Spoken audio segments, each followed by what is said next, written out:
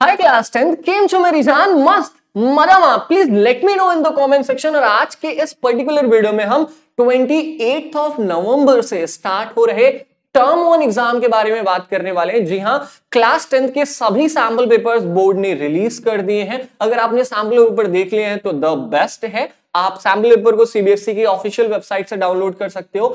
Even इस video के description box में मैंने इंग्लिश के सैंपल पेपर और उसके आंसर सीट की लिंक दे रखी है, उस पर भी क्लिक करके आप अपने फ़ोन में सेव कर सकते हो। आज के इस वीडियो में हम इंग्लिश के सैंपल पेपर को जो ऑफिशियली बोर्ड ने रिलीज़ करा है, उसको सॉल्व करने वाले। देखो यार, कई यूट्यूबर्स ने ऑलरेडी ऐसे वीडियोस बना रखे हैं इंग्लिश के सैंपल पेपर को सॉल्व करके बट उन्होंने डायरेक्ट आंसर बता रखा है। Now what we gonna study in this particular video हम अप्रोच सीखेंगे। क्योंकि भाई, आपके एग्ज़ाम में this is only the sample paper जो आज हम सॉल्व करने वाले हैं, ये केवल सैंपल पेपर है। आपके एग्ज़ाम में क्वेश्चंस डिफरेंट होंगे वैरायटी यही होगी। तो आपको यह सीखना ज़रूरी है कि भाई, ऐसे क्वेश्चंस को करेंगे कैसे ट्रिक्स क्या है, तरीका क्या है। मेरे तरीके से क्वेश्चन पेपर सॉल्व करो, चुटकियों में करोगे और बहुत मज़ा आने वाला है। So let's get started with this video hey hi everyone this is your host and mentor Prem Pandey welcoming you all to another exciting video on your favorite platform, educational hikes. शुरू करें।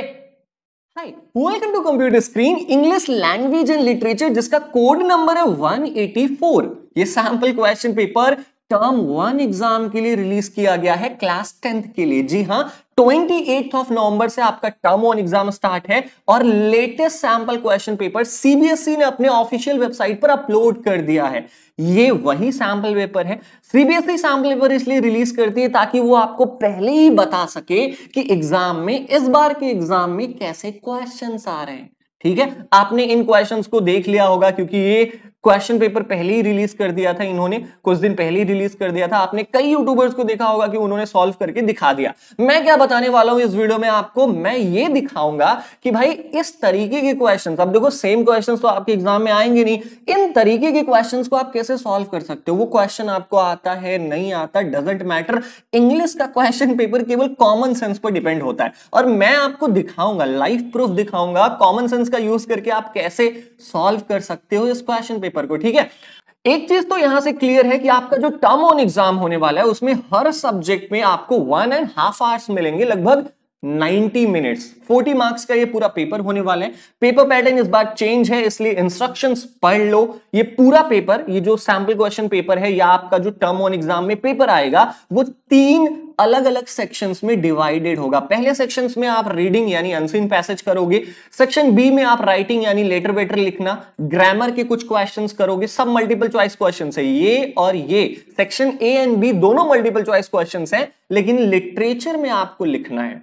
Total आपको 50 questions मिलेंगे इस बार, ठीक है? Section A में 14 questions section B में आपको 10 क्वेश्चंस करने हैं सेक्शन सी में आपको 26 टोटल ऑफ़ 50 क्वेश्चंस आपको इस सैंपल क्वेश्चन पेपर में या टर्म वन के एग्ज़ाम में देखने को मिलेंगे। अब देखो, अब रीडिंग वाले पैसेज को करने का क्या तरीका है? इनके लिए ना आपको पैसेज को पढ़ने की ज़रूरत ही नहीं है। क्या करना है आपको? सीधा क्वेश्चन पर आना है। जी हाँ क्या बता रहे हो भैया? सीधा क्वेश्चन बिना पैसेज पढ़े बिल्कुल यार, देखो करते कैसे हैं इन्हें, ठीक है? एक बार यहाँ पर थोड़ा ध्यान से पढ़ लेना कि आपको केवल एट क्वेश्चंस करने हैं, दिए आपको टोटल टेन क्वेश्चंस होंगे मतलब दस में से आपको आठ क्वेश्चंस करने दो नहीं भी आते, तब भी चल जाएँगे, आप छोड़ सकते हो। ठीक है, आपको क्या करना है? देखो भैया, सिंपल सा एक तरीका मैं बता रहा हूँ अनसीन पैसेज को करने का। क्या तरीका है? जो पहले क्वेश्चन का आंसर मिलेगा ना, वो केवल पैरा नंबर वन में मिलेगा। नीचे मत ढूंढना। जो फ़र्स्ट पैराग्राफ है, उसी में आपको पहले क्वेश्चन का आंसर मिल जाएगा। दूसरे क्वेश्चन का आंसर आपको पैरा नंबर टू में मिलेगा।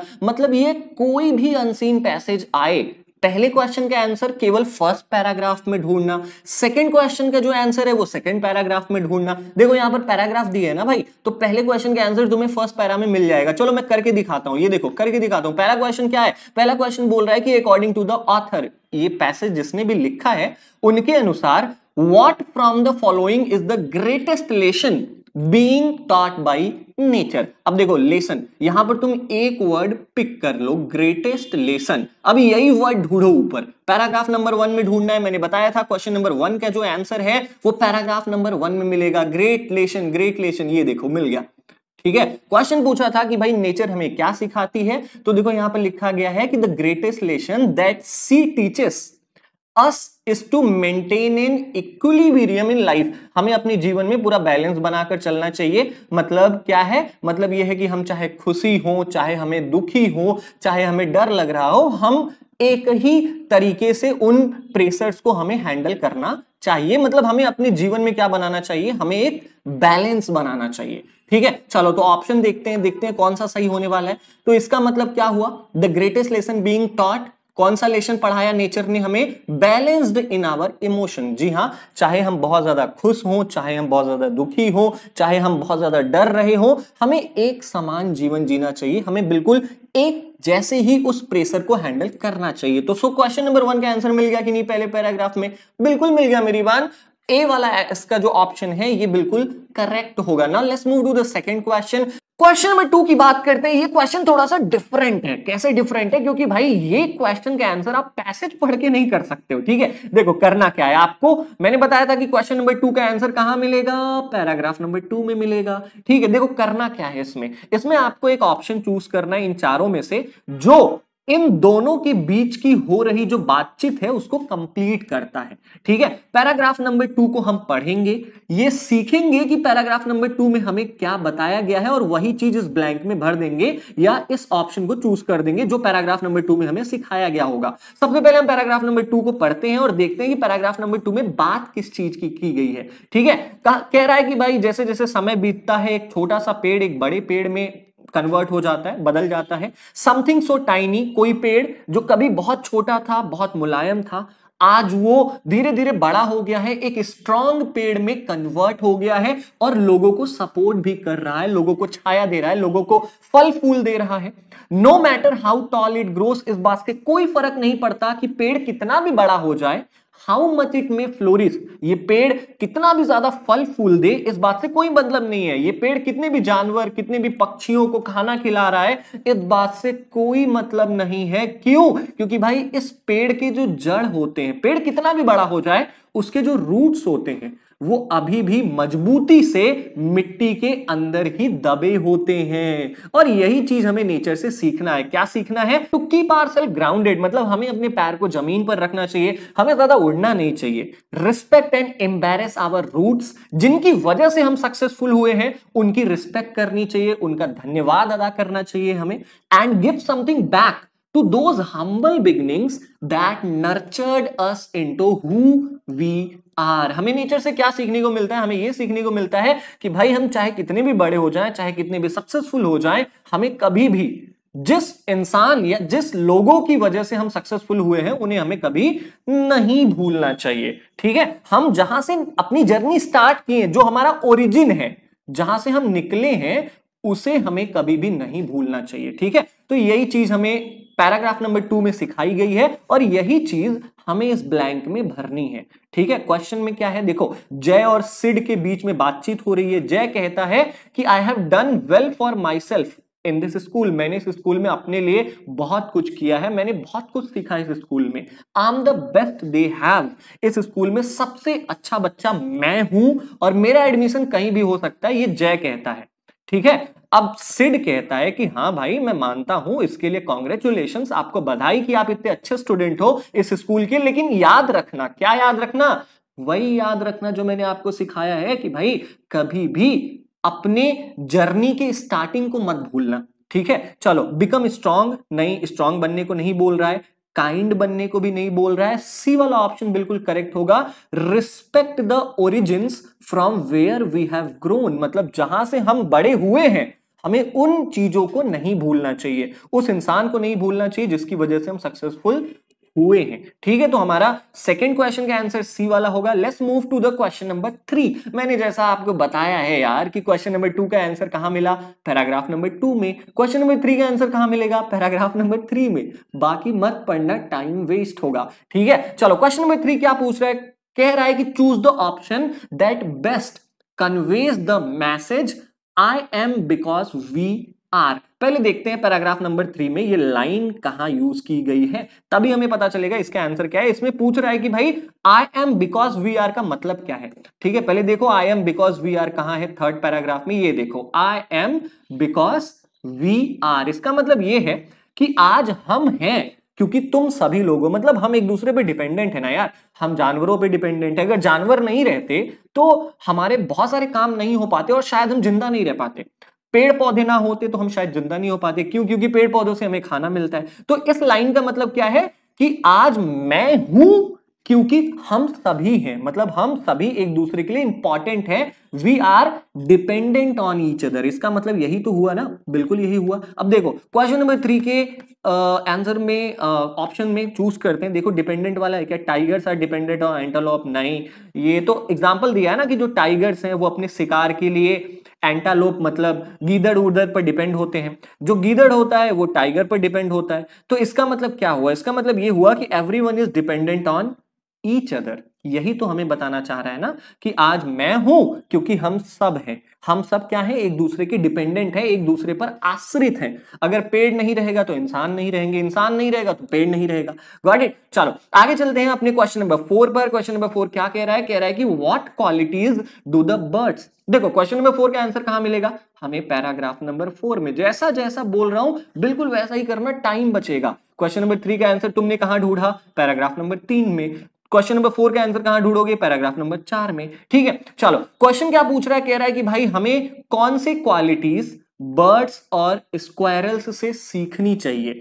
ठीक है? देखो, पहले अब हमें देखते हैं कि कौन सी क्वालिटी की बात हो रही है। पैराग्राफ नंबर फोर पर चलते हैं। Paragraph number four where is it where is it या this is paragraph number four थोड़ा पढ़ते हैं।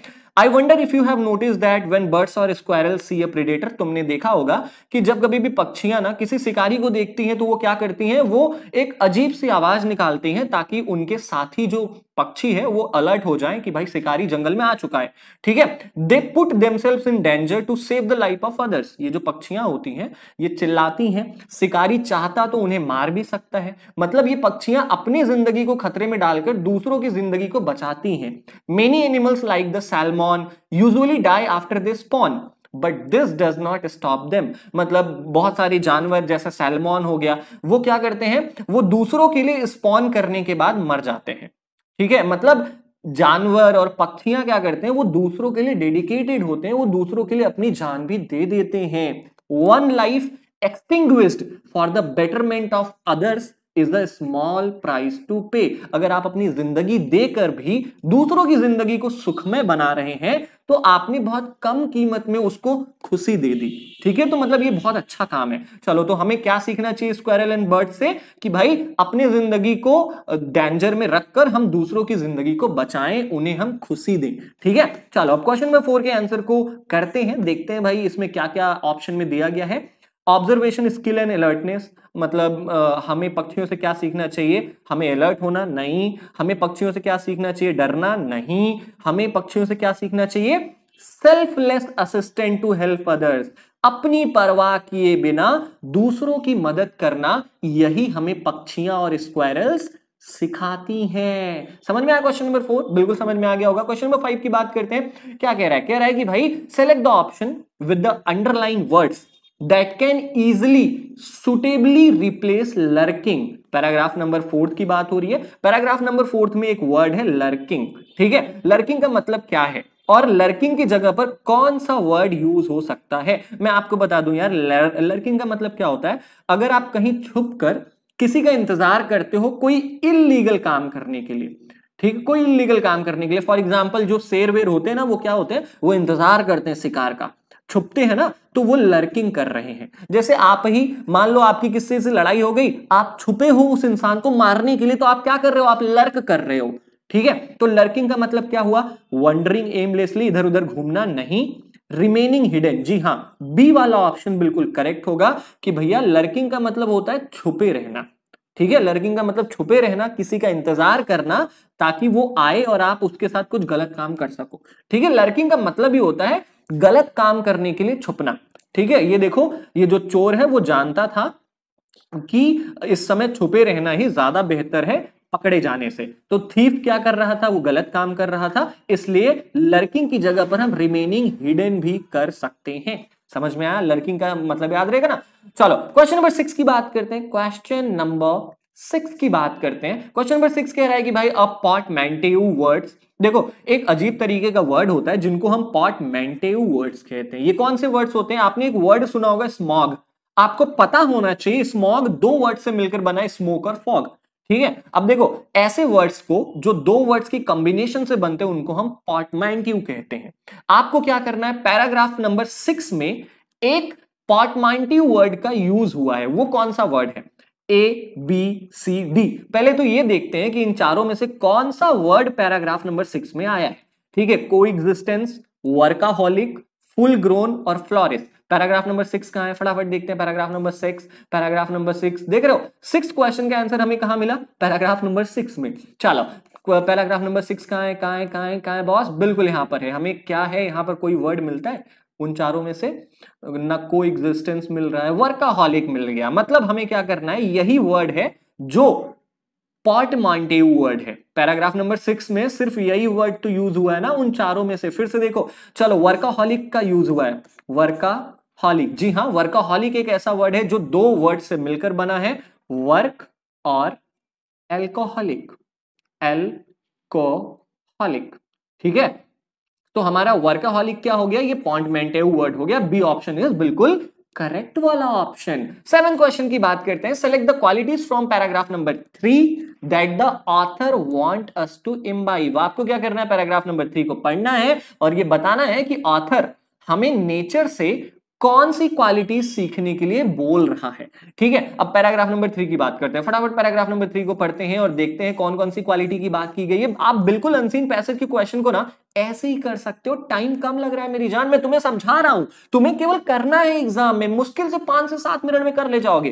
Paragraph number three then there is a message of peaceful existence um because we are nature provides every creature a chance to exit कह रहा है कि भाई आ, हर इंसान या हर जानवर या हर पेड़ पौधे को ये नेचर मौका देता है कि वो ज़िंदा रह सके इस धरती पर। However the existence of one creature are being depends on the existence of other लेकिन ये बात अलग है कि हम एक दूसरे जो, हम इंसान पेड़ पौधों पे डिपेंड है। पेड़ पौधे हमारे लिए डिपेंडेंट है। मतलब हमारे लिए अगर हम इंसान नहीं रहेंगे तो पेड़ पौधे मुरझा जाएँगे। उन्हें पानी कौन देगा? उन्हें कार्बन डाइऑक्साइड कौन देगा खाना बनाने के लिए? ठीक है? मतलब हम एक दूसरे के लिए क्या है? डिपेंडेंट है। हम एक दूसरे पर आधारित है। जैसे कि एग्ज़ाम्पल दिया है कि भाई जो टाइगर होता है, वो एंटेलोप को खा जाता है, गीदड़ को खा जाता है। और एंटेलोप के बिना टाइगर ज़िंदा नहीं रह सकता। एंटेलोप ना हो तो टाइगर खाएगा क्या? और बिल्कुल वैसे ही टाइगर के बिना एंटेलोप्स की संख्या बहुत ज़्यादा हो जाएगी और वो भुखमरी के शिकार हो जाएँगे और मर जाएँगे। मतलब टाइगर ना रहे तब भी एंटोलोप ज़िंदा नहीं रह सकते और टाइगर रहे, तब भी एंटोलोप ज़िंदा नहीं हो सकते। मतलब ये एक दूसरे पे क्या है? डिपेंडेंट है। चलो तो हमने कौन कौन सी क्वालिटी सीखी पैराग्राफ नंबर थ्री से? अब देखो यार, ये जो क्वेश्चन होता है ना, जिसमें आपको बताना पड़ता है कि पैराग्राफ में कौन कौन सी क्वालिटीज की बात की गई है, वहाँ पर आपको देखना पड़ेगा। कि क्या नेचर हमें सिखाता है कि हम जैसे हैं, वैसे एक्सेप्ट कर लिया जाए? बिल्कुल। हमें अपने आप को कभी भी कम नहीं समझना चाहिए। हर एक इंसान, जानवर पेड़ पौधों का अपना अलग इंपॉर्टेंस होता है तो एसेप्टिव हो गया। तो देखो फ़र्स्ट किसमें किसमें है? इसमें है और इसमें है। ये दोनों ऑप्शन नहीं होगा। ठीक है? अब देखो पैसनेट पैसनेट तो बिल्कुल नहीं होगा। इमोशनल क्या हमें इमोशनल होना चाहिए? आ, नहीं इमोशनल की भी बात नहीं हो रही है। क्या हमें रिसिलियंट होना चाहिए? रिसिलियंट का मतलब हम हमें हमें चाहे जितना बड़ा भी चोट लग जाए हमें उस चोट से उभरना आना चाहिए। बिल्कुल हमें रिसिलियंट होना चाहिए। मतलब वन फोर और फाइव सी वाला ऑप्शन हमारा बिल्कुल करेक्ट है। परसेप्टिव का मतलब होता है भाई कि दूर की सोच रखना। ठीक है? चलो एसेप्टिव रिसिलियंट और परसेप्टिव ये तीन क्वालिटीज हमें पैराग्राफ नंबर थ्री से सिखाया जा रहा है। हमें आपको याद होगा कि टेन में से केवल एट क्वेश्चन करने this is the eight question which of the following is shown by the changing of season मतलब बदलते हुए मौसम हमें क्या सिखाते हैं? ठीक है, अब देखो, बदलते सीज़न की बात कहाँ हुई है? पैराग्राफ में देखो, तब तब तो हमें पता चलेगा ना। चलो, पैराग्राफ में सीज़न की बात कहाँ हुई है? ये देखो, ऑटम सीज़न की बात हो रही है ना यहाँ पर। देखो, कह रहा है कि भाई the snow melts in the warmth of spring मतलब जैसे गर्मियों का मौसम आता है, बर्फ़ पिघल जाते हैं, ठीक है? ऑटम सीज़न में क्या होता है? Leaves age into sets of gold only to be buried in the cold grave of winter मतलब ऑटम सीज़न में क्या होता है कि जो पत्तियाँ होती हैं, जो नीचे गिरी रहती हैं, वो विंटर सीज़न में आते आते खत्म हो जाती हैं। मतलब मौसम बदलते हैं, इससे हमें क्या सीखने को मिलता है? हमें यह सीखने को मिलता है कि no matter what grief may break your heart nature teaches us that life goes on कुछ भी हो जाए तुम्हारी ज़िंदगी में, तुम्हारी ज़िंदगी चलती रहेगी मतलब बदलाव ही इस दुनिया का एकमात्र नियम है।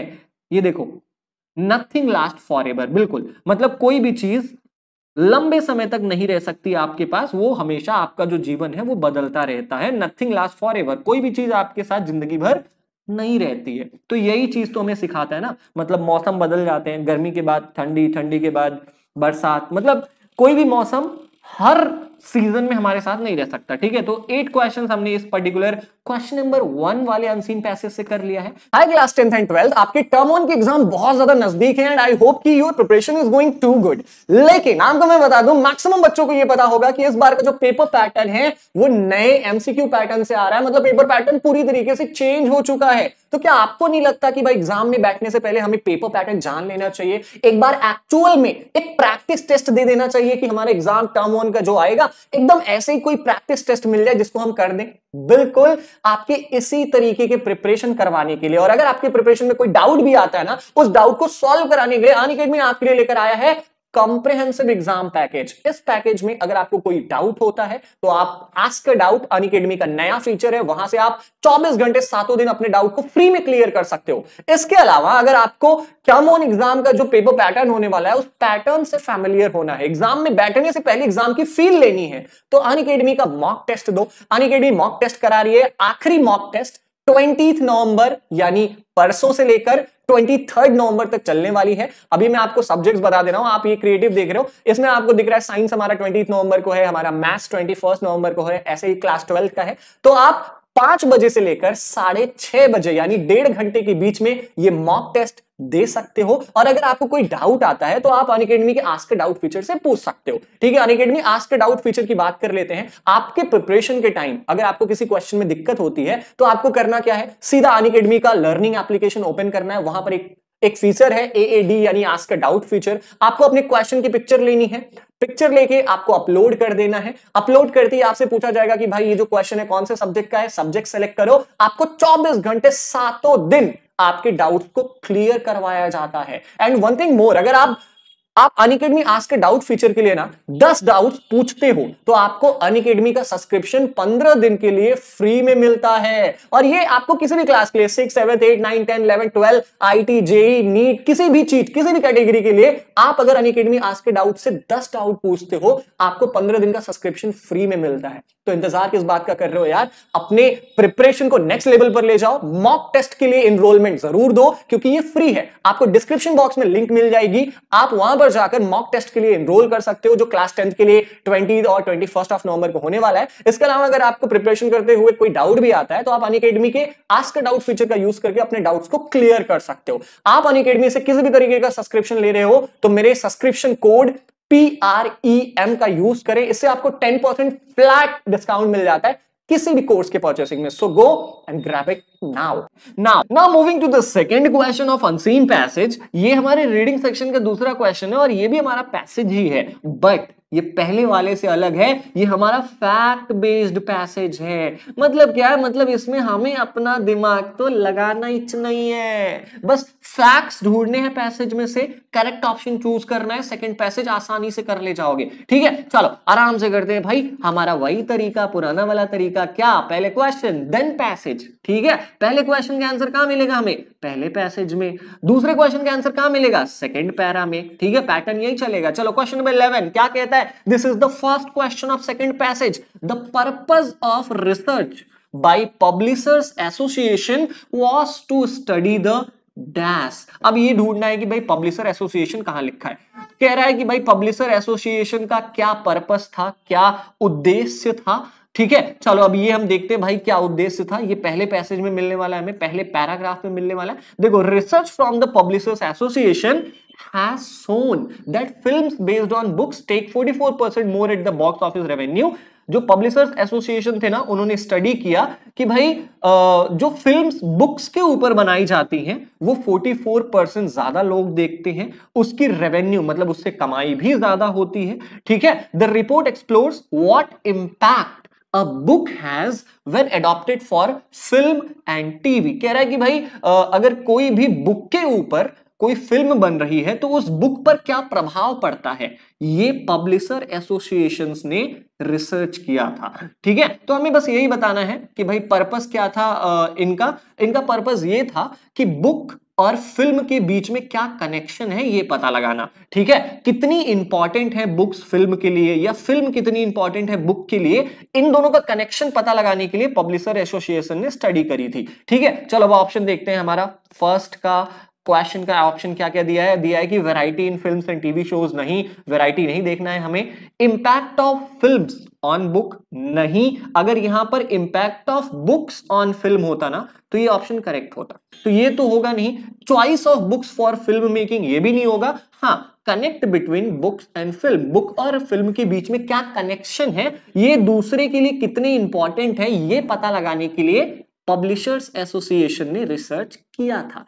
नाउ क्वेश्चन नंबर 12 और इस पर्टिकुलर पैसेज का क्वेश्चन नंबर टू आपको क्या करना है? Select the option that is true for the two statements given below आपको इन ऑप्शंस में से चूज़ करना है जो इन दोनों स्टेटमेंट्स को जस्टिफाई कर रहा हो। दोनों स्टेटमेंट क्या लिखा गया है? दोनों लिखा गया है कि भाई the revenue generated at the box office have increase कह रहा है कि भाई, जो आजकल मूवीज़ से कमाई हो रही है, वो धीरे धीरे बढ़ गई है। क्यों बढ़ गई है? Majority of the top films in the UK are based on published material क्यों बढ़ गई है? क्योंकि ज़्यादातर जो अमेरिका में फ़िल्में बनती है ना, वो बुक्स के ऊपर बनती हैं और इसी कारण से यही रीजन है कि हमारा जो रेवेन्यू है, वो इंक्रीज हो गया है। ठीक है? तो हम क्या बोलते हैं? हम बोलेंगे one is the result of two मतलब ये जो, ये रेवेन्यू जनरेट क्यों हुई? क्योंकि यूके में ज़्यादातर फिल्म्स बुक्स पर बनाई जाती हैं। और इसी का रिज़ल्ट है कि रेवेन्यू पैसा ज़्यादा मिल रहा है। ठीक है? समझ में आया? तो हमारा ए वाला ऑप्शन बिल्कुल करेक्ट होने वाला है। Now let's move to the third question हमारा थर्टीन क्वेश्चन यानी इस पैसेज का तेरहवा क्वेश्चन क्या कह रहा है? कह रहा है कि भाई select the option that gives the correct meaning of the following statement ये स्टेटमेंट है। अब पहले ये स्टेटमेंट हम देखेंगे है कहाँ पर। फिर तो उसका मतलब निकलेगा ना। अब वैसे यहाँ से भी तुम आराम से इसका मतलब बता सकते हो। कह रहा है कि the sales of the book in 2017 alone accounted for 23 percent कह रहा है कि भाई 2017 में कितने परसेंट ज़्यादा बुक्स बिकी? 23 परसेंट और ये किसके मुकाबले ज़्यादा बिकी? 1992 के पहले जितनी बुक्स बिक रही थी, उसके मुकाबले 2017 में जब इस बुक पर फ़िल्म बनाई गई ना तो ये बुक ज़्यादा बिकी। ठीक है 23 परसेंट और बिक गई ये बुक अब आपको इसी का मतलब बताना है, ठीक है? चलो, हम एक एक करके ऑप्शंस को देखते हैं। हमारा पहला ऑप्शन है कि भाई there were 23 percent higher sales in 2070 चलो, यहाँ तक तो सही है देन प्रीवियस ईयर्स नहीं प्रीवियस ईयर की बात नहीं होती। प्रीवियस का मतलब क्या होता है? 2017 की बात हो रही है तो इसका प्रीवियस ईयर 2016 होता है। यहाँ पर बात हो रही है 1992 के पहले की। तो 1992 2017 का प्रीवियस ईयर नहीं कहलाएगा। ठीक है तो पहला वाला तो बिल्कुल नहीं होगा। दूसरा a major chunk of sales happened in 2017 हाँ बिल्कुल, ये कह सकते हैं हम। क्यों कह सकते हैं? हम ये कह सकते हैं ना कि 2017 में इतनी बुक्स बिकी, जितनी पहले कभी नहीं बिकी थी। मतलब ज़्यादातर बुक्स 2017 में बिकी हैं। ठीक है? सी वाला option the sales were limited limited नहीं है, ज़्यादा हुई है ना? 23 परसेंट ज़्यादा बिकी है बुक तो लिमिटेड ये तो निगेटिव वर्ड हो गया ना तो ये तो आएगा नहीं. There were very few books नहीं, कम बुक्स नहीं बिकी भाई. 23 परसेंट बहुत ज़्यादा होता है. तो इसका करेक्ट ऑप्शन क्या होगा हमारा? बी वाला. Move to our fourteen question और इस पैसेज का चौथा question according to the research the film based on books have greater success because कह रहा है कि भाई, एक रिसर्च ने बताया है कि जो फ़िल्म बुक के ऊपर बनाई जाती है, वो ज़्यादा, ज़्यादातर चलती है बॉक्स ऑफ़िस पर, वो उन्हें लोग ज़्यादा देखते हैं, ज़्यादा पसंद करते हैं। ऐसा क्यों होता है? अब हम ये देखेंगे कि भाई, ये लाइन कहाँ लिखा है, तब तो हमें पता चलेगा ना, ऐसा क्यों होता है। देखो फ़िल्म बेस्ड ऑन बुक्स अब ये लाइन ढूंढो कहाँ पर है। Film based on books film based on books ये देखो। हाँ यहाँ पर है कि नहीं है? देखो द रिसर्च एक रिसर्च हुई है, जिसने बताया है कि भाई adapted films tend to perform better मतलब जो बुक्स के ऊपर फ़िल्म लिखी गई हैं, वो ज़्यादा अच्छे से बॉक्स ऑफ़िस पर चलती हैं। क्यों? रीजन क्या है? Film can leverage the popularity of well known books मतलब भाई, जैसे फॉर एग्ज़ाम्पल हाफ़ गर्लफ्रेंड ये चेतन भगत की एक बुक है। चेतन भगत की एक बुक है हाफ़ गर्लफ्रेंड ठीक है? अब भाई इस बुक को काफ़ी लोग पसंद कर रहे हैं। तो जब इस बुक पर फ़िल्म बनेगी तो ये लोग इस फ़िल्म को देखेंगे कि नहीं देखेंगे? मतलब इस बुक के पॉपुलैरिटी का यूज़ करके ये फ़िल्म बॉक्स ऑफ़िस पर अच्छी कमाई कर रही है। ये बुक ऑलरेडी फ़ेमस है, ठीक है? अर्जुन कपूर और श्रद्धा कपूर ने मूवी बना भी मूवी बना दी थी हाफ़ गर्लफ्रेंड ठीक है? हाफ़ गर्लफ्रेंड ये चेतन भगत की बुक है। और इसी बुक पर मूवी बना दिया हाफ़ गर्लफ्रेंड जो बहुत चली। बॉक्स ऑफ़िस पर सुपर हिट रही थी, ठीक है? तो कारण क्या है? हमसे क्या पूछ रहा था? हमसे चौथा क्वेश्चन क्या पूछ रहा था? यही तो पूछ रहा था ना कि भाई, जो बुक्स के ऊपर फ़िल्म बनाई गई है, वो ज़्यादातर सक्सेसफुल क्यों है? क्योंकि जो बुक्स के ऑडियंस है ना, वो फ़िल्म देखने जाते हैं। देखो people like to see the character from the book नहीं, ये कारण नहीं है। The film get the advantage of the fame of books बिल्कुल, भाई बुक्स पहले से ही फ़ेमस है। और उन्हीं बुक्स पर अगर मूवी बना दी जाए तो भाई उस मूवी को सभी लोग देखेंगे जो इस बुक को पढ़ चुके हैं। मतलब फिल्म्स को फ़ायदा मिलता है, जो लोग बुक पढ़ चुके हैं, जिन्हें बुक अच्छी लगी है, वो लोग आते हैं मूवी देखने। ठीक है? तो ये बी वाला ऑप्शन हमारा बिल्कुल करेक्ट होगा। नाउ क्वेश्चन नंबर 15 यानी इस पैसेज का फिफ्थ क्वेश्चन क्या कहता है कि select the option listing what the given sentence refers to अब ये सेंटेंस है, इस सेंटेंस का क्या मतलब है? और इस मतलब से कौन सा ऑप्शन सही है, ये बताना है। Films adopted from books also tend to have richer more fully developed story to draw on कह रहा है कि भाई, जो नॉर्मल मूवीज़ होती है ना, उनमें कहीं ना कहीं जो एंडिंग होती है, वो छूट जाती है। लेकिन जो फ़िल्म बुक पर बनाई जाती है, उसकी जो एंडिंग होती है, वो धमाकेदार होती है, पूरे बुक के तरीके से होती है। इसका मतलब क्या हुआ? इसका मतलब ये हुआ कि the plot and the story line of such film are better बिल्कुल मतलब पूरी स्टोरी अच्छी होती है, क्योंकि वो बुक के ऊपर लिखी गई है। The characters are likely to be more vivid मतलब जो करेक्टर्स हैं, जो बुक में करेक्टर है, एकदम हु बहू फ़िल्म में करेक्टर दिखाया गया है। ठीक है तो ये दोनों ऑप्शन बिल्कुल सही होगा। वन और टू देखो वन और टू साथ में किसमें आया है? हमें तीसरा वाला ढूँढने की ज़रूरत ही नहीं पड़ेगी। वन और टू वन और टू ओ माय गॉड इन दोनों में आया है। सी और डी में में आया है। अब आपको ये पता लगाना है फिफ्थ और फोर्थ में कौन सा सही है। ठीक है फिफ्थ और फोर्थ देखते हैं। फोर्थ uh, देखते हैं the setting and costumes are adapted from the book गलत है। The making of such film require नहीं ये गलत है ये वाला सही है। ठीक है ज़रूरी नहीं है कि बुक के ऊपर जो फ़िल्म बनाई जाए उसका दूसरा पार्ट मतलब उसका सिक्वल बनाया ही जाए, ये ज़रूरी नहीं है। तो फिफ्थ वाला तो बिल्कुल नहीं होगा, हमारा फ़र्स्ट सेकेंड और फोर्थ करेक्ट आंसर होगा। First second and fourth D option is बिल्कुल करेक्ट वाला ऑप्शन आप अपने आंसर मैच कर सकते हो। मैंने नीचे इसी वीडियो के डिस्क्रिप्शन बॉक्स में आंसर सीट भी आपको दे रखी है, ठीक है? नाउ क्वेश्चन नंबर 16 को करते हैं। This is the six question of this passage और पूरे क्वेश्चन पेपर का सोलहवा क्वेश्चन ये क्या कह रहा है? हमें आपको पता है ना, आठ में से छह ही करने हैं तो this is the six question ठीक है? ये लास्ट इसके बाद पैसेज रीडिंग सेक्शन खत्म ग्रामर करेंगे अपन। On what from the following were the maximum TV serials in UK in the year 2017 based कह रहा है कि भाई, अमेरिका में 2017 में कौन से टॉपिक पर ज़्यादा फ़िल्में बनी थी? क्या बुक पर ज़्यादा सीरियल्स बनाए जा रहे थे? सॉरी फ़िल्म नहीं सीरियल की बात हो रही है कि भाई अमेरिका में 2017 में किस टॉपिक पर ज़्यादा सीरियल्स बनी है? क्या किताबों के ऊपर हिस्टोरिकल स्टोरीज के ऊपर ओरिजिनल ट्रू स्टोरीज के ऊपर या प्रीवियस फिल्म्स के ऊपर। तो पहले ये हमें देखना पड़ेगा आ, कि भाई आ, 2017 में सीरियल ठीक है अमेरिका में 2017 में जितने भी सीरियल्स बने हैं वो किस पर बेस्ड हैं? अब ये आपको देखना पड़ेगा 2017 और सीरियल याद रखो यही दोनों वर्ड ढूंढो। यार देखो तुम अपने आप को ना थोड़ा सा आसान बना सकते हो पैसेज के एक एक लाइन को पढ़ने की ज़रूरत ही नहीं है भाई अपन को। देखो अपन अपन ने देख लिया कि 2017 में सीरियल की बात हो रही है। तो 2017 तो मिल गया।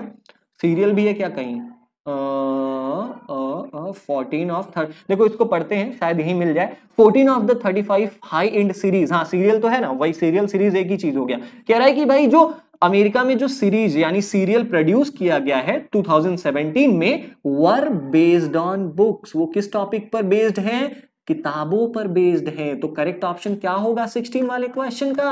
अरे भैया, जल्दी बताओ यार, कितना आसान क्वेश्चन है। जी हाँ वर बेस्ड ऑन बुक्स मतलब 2017 में अमेरिका में जितने भी सीरियल्स बनाए गए थे, वो ज़्यादातर बुक्स पर बेस्ड थे, यानी बुक्स से स्टोरी ली गई थी। ठीक है? नाउ हम करेंगे ग्रामर एंड राइटिंग पोर्शन और ये हमारा सेक्शन बी है इस क्वेश्चन पेपर का। सेक्शन ए की तरह बिल्कुल सेक्शन बी भी सभी तरीके के मल्टीपल चॉइस क्वेश्चन कंटेन करता है। आपको ग्रामर में भी एमसीक्यूज मिलेंगे और राइटिंग सेक्शन में भी एमसीक्यूज गजब कर दिया भाई सीबीएसई ने। राइटिंग सेक्शन में तो आपको राइट ही नहीं करना। केवल एमसीक्यूज करने हैं, ठीक है? कैसे? दिखाता हूँ अभी, लेकिन सबसे पहले हम करेंगे ग्रामर ग्रामर का पहला क्वेश्चन आपको छह क्वेश्चन दिए गए हैं ग्रामर के। करना केवल पाँच है आपको, छह में से केवल पाँच क्वेश्चंस करना है। और ये जो क्वेश्चन है ना, ये ग्रामर के सभी चैप्टर्स से हैं। आपके सिलेबस में जितने भी चैप्टर हैं tenses modals determiners articles reported speech subject verb agreement इन सभी चैप्टर्स से ये क्वेश्चन पूछे गए हैं। ठीक है? चलो एक एक करके करेंगे। क्वेश्चन नंबर नाइनटीन यानी कि ग्रामर पोर्शन का पहला question The hospital board clearly mentioned that you dash smoke in the hospital hospital में एक बोर्ड लगा था जिसमें साफ़ साफ़ लिखा था कि तुम हॉस्पिटल में सिगरेट नहीं पी सकते हो क्योंकि सिगरेट पीना सभी के लिए हानिकारक हो सकता है। ठीक है? तो देखो भैया, अब इसका तुम्हें मतलब निकालना पड़ेगा। अगर ये मॉडल ऑक्सिलरी का क्वेश्चन है मॉडल्स का ही तो क्वेश्चन है ना, ये सब मॉडल्स है ना। अगर तुम्हें याद है तो तुम्हें तुरंत पता चल जाएगा कि ये मॉडल का क्वेश्चन है। अगर मॉडल का क्वेश्चन एग्ज़ाम में आता है तो भाई सेंटेंस का मतलब जानना बहुत ज़रूरी है। देखो, यहाँ पर मतलब क्या है? यहाँ पर मतलब ये है कि हॉस्पिटल में हम सिगरेट पी नहीं सकते। पीना मना है। अगर पियोगे तो मार खाओगे। ठीक है? तो कंपलसरी है ना यहाँ पर ये बात मानना? ये बात मानना यहाँ पर कंपलसरी है आपके लिए। जैसे आप पेट्रोल टंकी पर जाते हो, वहाँ पर सिगरेट नहीं पी सकते। कंपलसरी है आपके लिए। बिल्कुल ऐसे ही हॉस्पिटल में भी आप सिगरेट नहीं पी सकते, ये कंपलसरी है। तो भाई कंपल्सन के लिए हम कौन सा मॉडल ऑक्सिलरी यूज़ करते हैं? कैन नॉट का यूज़ करते हैं क्या? नहीं। कैन नॉट का यूज़ हम एबिलिटी के लिए करते हैं। ठीक है? अगर आप सिगरेट पीने में सक्षम ही नहीं हो, तब हम कैन नॉट का यूज़ कर सकते हैं। यहाँ पर आप सक्षम हो, आप सिगरेट पी सकते हो, लेकिन हॉस्पिटल में पीना मना है, ठीक है? तो भाई, जो चीज़ करना मना हो, इस बात को मानना तुम्हारे लिए एकदम कंपलसरी है तो कंपल्सन के लिए हम मस्ट का यूज़ करते हैं ना, मेरी जान। मस्ट का मतलब ये बात मानना ज़रूरी है, आपके पास कोई चॉइस नहीं है, ठीक है? तो यहाँ पर हम क्या यूज़ करेंगे? मस्ट नॉट कैन नॉट का यूज़ एबिलिटी के लिए मस्ट नॉट का यूज़ अगर कोई चीज़ कंपल्सरी हो करना कंपल्सन हो, वहाँ पर हम मस्ट नॉट का यूज़ करते हैं। नीड नॉट का मतलब अगर किसी चीज़ को करने की ज़रूरत है आपको, ठीक है? तो आप नीड का यूज़ करोगे। माइट का यूज़ मतलब एकदम कम चांसेस माइट का मतलब होता है शायद। ठीक है, जहाँ पर शायद का सेंस बने, आप वहाँ पर माइट का यूज़ कर सकते हो। जैसे I I might go to school today शायद ही आज मैं स्कूल जाऊँ। समझ गए? चलो क्वेश्चन नंबर ट्वेंटी की बात करते हैं। This is the second question from grammar portion और हमारा क्वेश्चन नंबर ट्वेंटी ना डिटरमाइनर्स से है। चलो, क्या लिखा है? लिख रहा है कि भाई there is never dash petrol left after Rahul uses the car कह रहा है कि भाई, ये तो हो ही नहीं सकता कि राहुल कार को चलाए और पेट्रोल बचा दे। मतलब ऐसा कभी हुआ ही नहीं है कि राहुल कार चलाए और थोड़ा बहुत पेट्रोल बच जाए। एकदम पेट्रोल नहीं बचता। ठीक है? तो इसके लिए हम क्या यूज़ करेंगे? क्या हम मच का यूज़ कर सकते हैं? There is never much petrol क्या हम लिटिल का यूज़ कर सकते हैं? मेनी का यूज़ कर सकते हैं या अ लिटिल का यूज़ कर सकते हैं? देखो पेट्रोल क्या है? पेट्रोल क्या है? देखो, जब कभी भी डिटरमाइनर्स का क्वेश्चन आए, मैंने अभी आपको बताया मोडाल्स का क्वेश्चन आए तो क्या करना है? मतलब समझना है। डिटरमाइनर का क्वेश्चन आए तो क्या करोगे? डिटरमाइनर का क्वेश्चन आया ना भैया, सबसे पहले डैश के बाद वाला वर्ड देख लो कि ये काउंटेबल है या अनकाउंटेबल नाउन है। तो भाई, पेट्रोल को तो हम गिन नहीं सकते हैं। क्या तुम एक पेट्रोल, दो पेट्रोल, तीन पेट्रोल गिन सकते हो? क्या? नहीं गिन सकते ना। तो ये हमारा पेट्रोल क्या है? अनकाउंटेबल नाउन है। अनकाउंटेबल के लिए केवल हम मच लिटिल और अ लिटिल का यूज़ करते हैं। मेनी का यूज़ काउंटेबल नाउन के पहले होता है। ठीक है? तो हमारा करेक्ट केवल इन्हीं तीन में से एक होगा। और लिटिल और ए लिटिल ना पॉजिटिव सेंटेंस में यूज़ होता है। पॉजिटिव सेंटेंस में। ये तो निगेटिव सेंटेंस है ना मेरे भाई। नेवर का यूज़ हुआ है। ठीक है? तो ये निगेटिव सेंटेंस है। निगेटिव में केवल हम मच का यूज़ करते हैं। लिटिल और ए लिटिल पॉजिटिव सेंटेंसेस में यूज़ होता है। हमेशा याद रखना। लिटिल और ए लिटिल नो डाउट कि भाई अनकाउंटेबल नाउन के साथ यूज़ होता है। लेकिन एक बात याद रखने लायक ये है कि उन्हीं अनकाउंटेबल नाउन के साथ यूज़ होगा जहाँ पर पॉजिटिव सेंटेंस हो। ये निगेटिव सेंटेंस है। निगेटिव है तो इसलिए हम मच का यूज़ करेंगे, ठीक है? चलो क्वेश्चन नंबर ट्वेंटी वन की बात करते हैं। क्वेश्चन नंबर ट्वेंटी वन क्या कहता है? क्वेश्चन नंबर ट्वेंटी वन कहता है कि I am taking driving lesson now मतलब मैं अभी गाड़ी चलाना सीख रहा हूँ। होपफुली आशा है, क्या आशा है कि I dash my driving test by November मैं, आशा है ये मुझे कि मैं नवंबर तक अपना ड्राइविंग टेस्ट दे चुका हूँगा। मैं ये काम कर चुका हूँगा मतलब कंप्लीट कर चुका हूँगा। ठीक है तो मैं जब टेंस पढ़ा रहा था आपको तो मैंने बताया था कि भाई जिस भी टेंस के लास्ट में चुका हूँ, चुका होऊँगा चुका होंगे, ये आए तो ये कौन सा टेंस होता है? ये फ्यूचर परफेक्ट होता है। क्या होता है? फ्यूचर परफेक्ट मेरी जान और फ्यूचर परफेक्ट में हैड सॉरी विल हैव का यूज़ होता है। अब देखो विल हैव किसमें यूज़ हुआ है? बिल्कुल विल हैव तो इसमें यूज़ हुआ है ना। तो ये हो गया हमारा करेक्ट ऑप्शन 21 का कौन सा ऑप्शन सही है? सी वाला ऑप्शन सही है. क्यों? क्योंकि देखो, यहाँ पर इसका मतलब क्या निकल रहा है? कि भाई मैं नवंबर तक अपना ड्राइविंग टेस्ट कर चुका हूँगा। ये काम नवंबर आते आते मैं खत्म कर चुका हूँगा ना? तो फ्यूचर का परफेक्ट टेंस है ये। इसलिए फ्यूचर परफेक्ट का जो हेल्पिंग वर्ब होता है विल हैव प्लस वर्ब की थर्ड फॉर्म यानी विल हैव टेकन हमारा बिल्कुल सही होने वाला है। नाउ हम करेंगे क्वेश्चन नंबर 22 और क्वेश्चन नंबर 22 को करने के लिए ना आपको रिपोर्टेड स्पीच आना ज़रूरी है, आपको डायरेक्ट से इनडायरेक्ट में बदलना आना चाहिए। अगर नहीं भी आता ना तो मेरे ट्रिक को यूज़ करो। देखो हम कितने आसानी से कर लेंगे, ठीक है? सुनीता आज्ड वेंकट, बिल्कुल सही है, क्योंकि क्वेश्चन पूछा गया, इसलिए आज्ड का यूज़ करेंगे। देखो किसमें किसमें आज्ड का यूज़ हुआ है?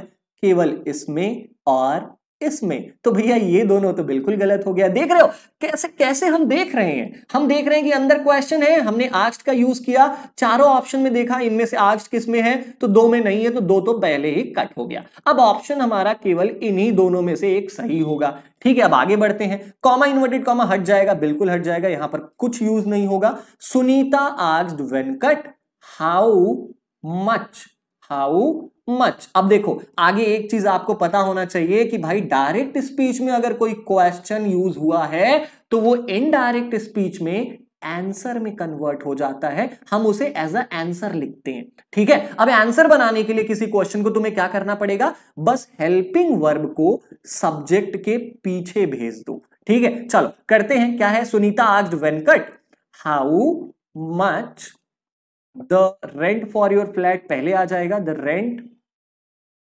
फॉर अब देखो योर है तो योर हमारा क्या है? ये सेकंड पर्सन है, ये वेनकट के अकॉर्डिंग चेंज होगा। और वेनकट क्या है? लड़का है, इसलिए हिस का यूज़ करेंगे हम। ठीक है? How much the rent for his flat अब लास्ट में हम इज़ का जो हेल्पिंग वर्ब है, वो यूज़ करेंगे।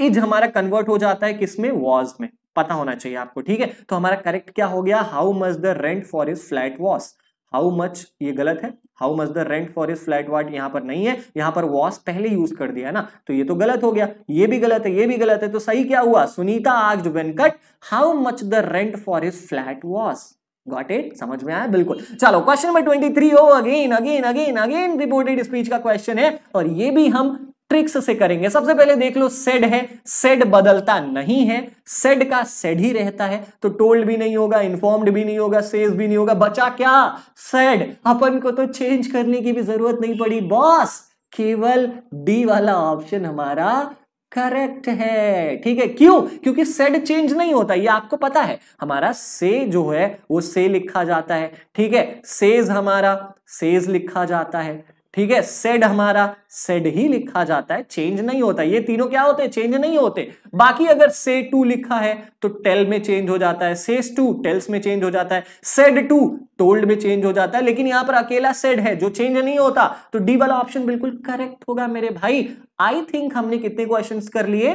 Twenty three twenty two twenty one चार, पाँच कर लिए ना? छह में से पाँच ही तो करना था तो कर लिया अपन ने। तो भाई ग्रामर पोर्शन इस तरीके से होता है हमारा clear question number twenty four आप अपने से कर लेना। भाई राइटिंग सेक्शन क्या बात है। सीबीएसई ने ना इस बार तो राइटिंग सेक्शन का हुलिया ही बदल दिया। भाई, पिछले कई सालों से ऐसा राइटिंग सेक्शन का पैटर्न मैंने तो नहीं देखा। तुमने देखा हो तो कॉमेंट में बताना मुझे। इसमें क्या करना है आपको, इस बार के राइटिंग सेक्शन में ना, अगर लेटर दिया है तो लेटर लिखना नहीं है, बल्कि उस लेटर को कैसे लिखोगे, वो आपको मल्टीपल चॉइस क्वेश्चन में आंसर करना है। जी हाँ करने में बहुत मज़ा आएगा। कैसे? देखते हैं। आपको छह क्वेश्चन दिए गए हैं। करना केवल पाँच है। मतलब सिक्स मल्टीपल चॉइस क्वेश्चन है। आपको केवल फाइव करना है उसमें से। आप एक छोड़ सकते हो। क्वेश्चन क्या है? क्वेश्चन ये है कि तुम्हारा नाम देवाश्री है। तुम सिलीगुड़ी, आसाम में रहते हो। तुम्हें एक लेटर लिखना है। नेशनल डेली नाम का एक न्यूज़पेपर है। उसके एडिटर को तुम्हें क्या लिखना है? लेटर लिखना है। और उनका ध्यान खींचना है। किस तरफ़?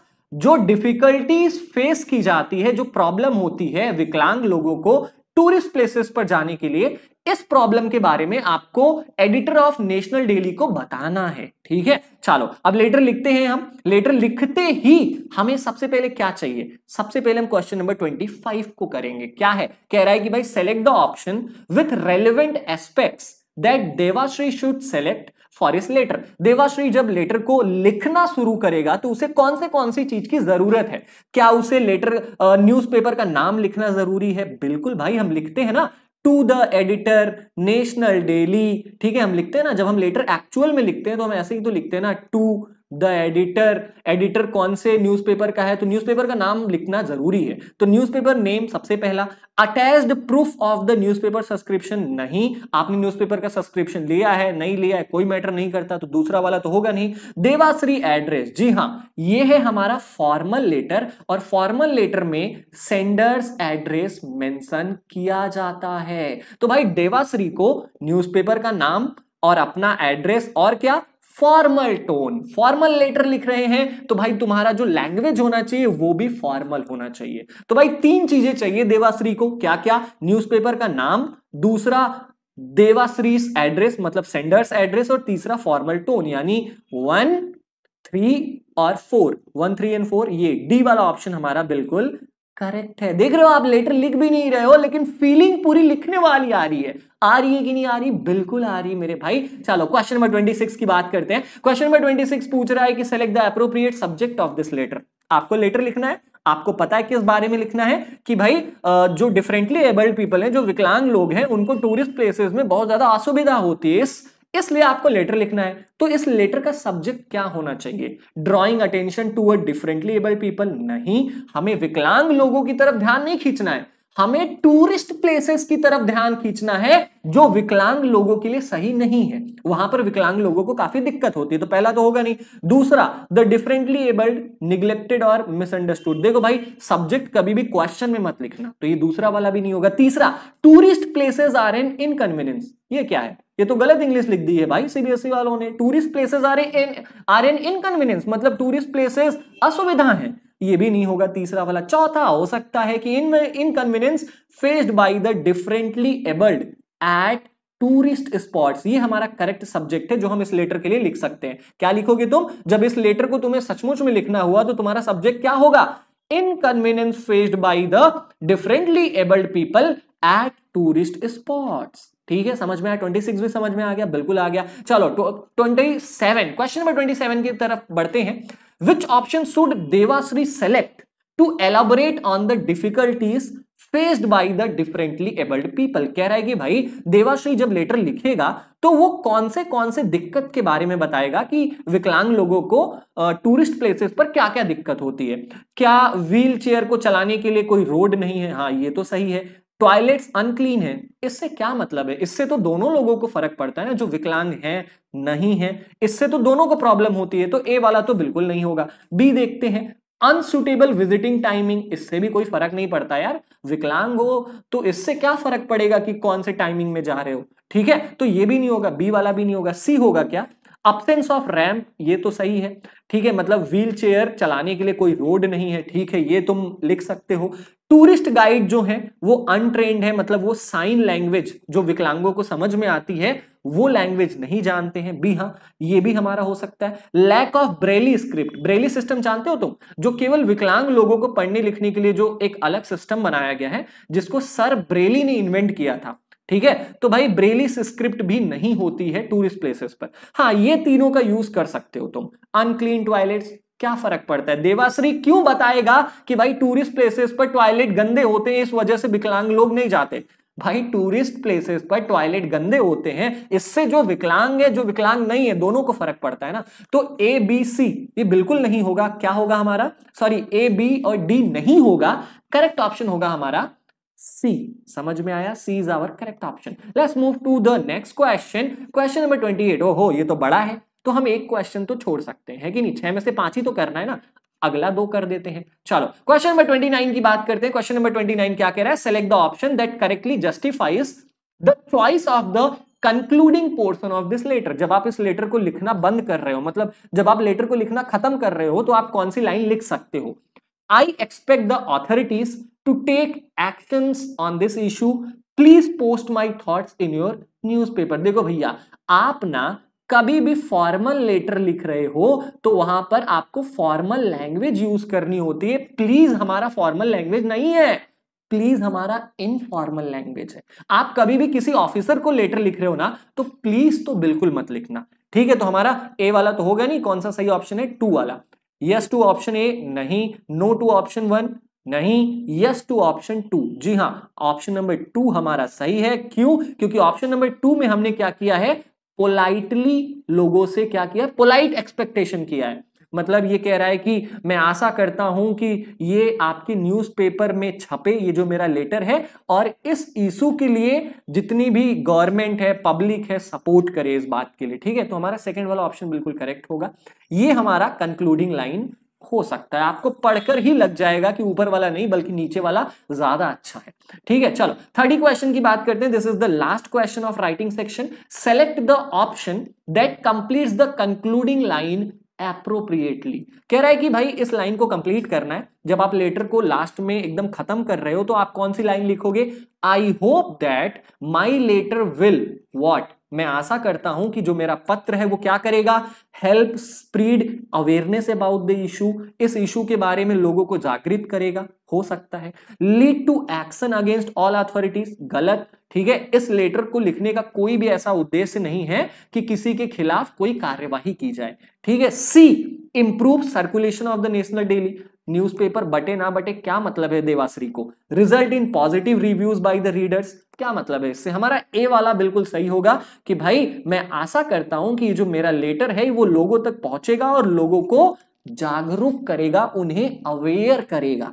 ठीक है? So this is the whole writing section और ये पूरा पेपर हमारा यहीं पर कंप्लीट होता है, जो लिटरेचर का आंसर है, आपको क्या करेगा? ये नीचे डिस्क्रिप्शन बॉक्स में मार्किंग स्कीम मैंने दे रखी है तो लिटरेचर का आंसर आप वहाँ से देख सकते हो, क्योंकि लिटरेचर को करने का कोई ट्रिक नहीं होता। So this is all about this particular video मेरी जान। कैसा लगा क्लास टेंथ ये सैंपल क्वेश्चन पेपर सॉल्व करके अगर वीडियो अच्छी लगी हो तो वीडियो को शेयर करना। और ऐसे ही मैं दो तीन और सैंपल पेपर जो मेरे द्वारा बनाया गया है अनऑफिशियल है, लेकिन एक्यूरेट है, वो मैं आपको जल्दी दूँगा। इसी चैनल पर सो बने रहिए हमारे चैनल पर। मिलते हैं एक और धमाकेदार वीडियो के साथ। तब तक के लिए, सत श्री अकाल। जय हिंद।